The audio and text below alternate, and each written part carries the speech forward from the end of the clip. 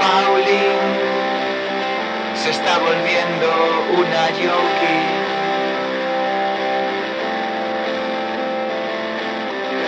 Es una especie de princesa en una canción de Lou